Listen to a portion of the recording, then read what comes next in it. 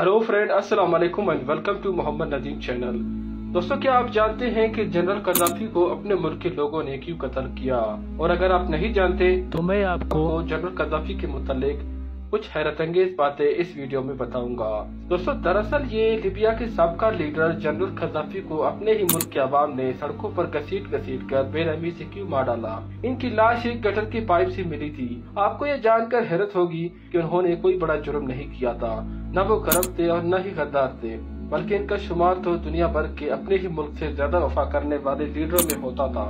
ये अवाम को अपनी औलाद से बढ़कर चाहते थे। जब जनरल कदाफी के दौर में बिजली, पानी, गैस सब कुछ फ्री था, जब तक कि जनरल कदाफी के दौर हुकूमत थी, किसी के भी घर में पानी और बिजली का बिल नहीं आता था। लिबिया के अवाम को जब कर्ज की ज़रूरत पड़ती, वो लिबिया में किसी भी बैंक से बगैर सूद के कर्ज ले सकते थे। कोई काश्तकारी करना चाहता तो गवर्नमेंट ज़मीन और घर उन्हें मुफ़्त देती थी।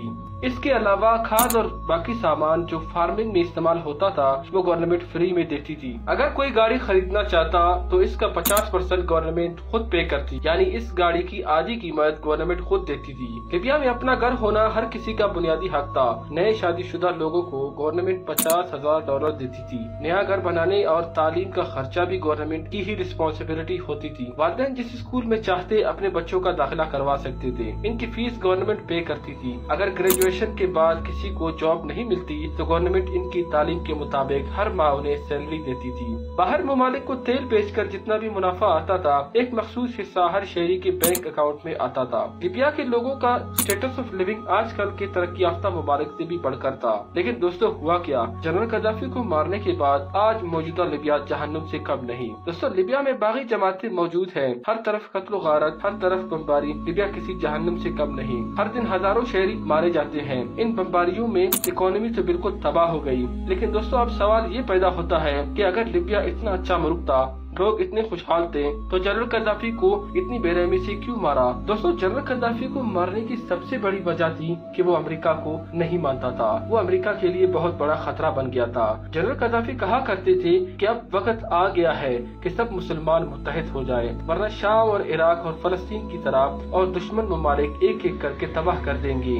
आपको जनरल कदाफी कहा करता था, मेरे बाद लिबिया पहले जैसा नहीं रहेगा। मैं लिबिया की शान शौकत अपने साथ लेकर जाऊँगा। दूसरी वजह ये थी कि लिबिया के पास बेतहाशा पैसा था। एक टन गोल्ड रिज़र्व इसके पास मौजूद थे। इसके अलावा तेल जो पूरी दुनिया में यूएस डॉलर में बेचा जाता था, अब दिनार और रुपए में बेचा जाएगा। मुस्तकबिल में इनका ये इरादा था कि अफ्रीका में गोल्ड दिनार की करेंसी लॉन्च करते। इसी करेंसी से अमेरिका के अंदर सारे ट्रेड होते। इसी तरह फ्रांस की करेंसी को दिनार से रिप्लेस करते और इसी से ट्रेड और कारोबार करते। और आहिस्ता आहिस्ता फ्रांस का कंट्रोल इन मुल्कों से खत्म हो जाता। अमेरिका को ये डर था कि मुस्तकबिल में ये उनके लिए बहुत बड़ा खतरा बन सकता था।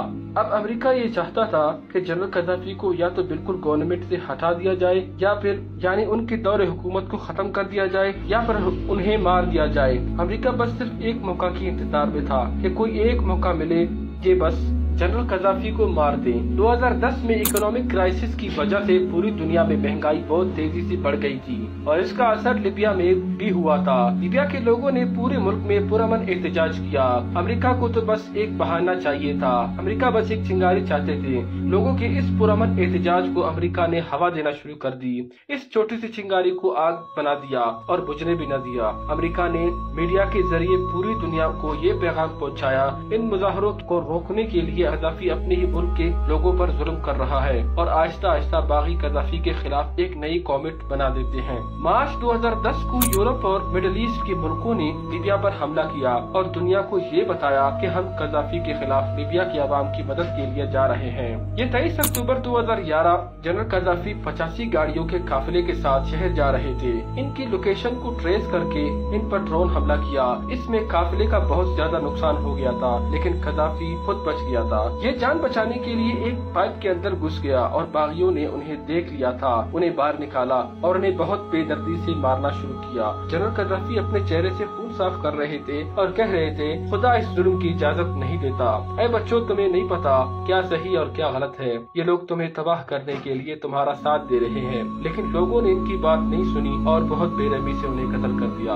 दो दिन तक इसकी लाश फ्रीजर में रख दिया गया, फिर इसको दफन किया गया। लिबिया के लोगों को अब जनरल कजाफी की एक एक बात याद आती है। जनरल कजाफी कहा करते थे कि मैं जाऊँगा तो लिबिया की शान शौकत साथ ले जाऊँगा। ये बात सच साबित हो गई। आज लिबिया रहने के काबिल नहीं है। दोस्तों दुनिया भर के बागी आज लिबिया में रहते हैं। शायद ही कोई ऐसा खानदान जिसने अपने घर का फर्द नहीं खोया। आज जनरल कजाफी को ये लोग याद करके रोया करते हैं।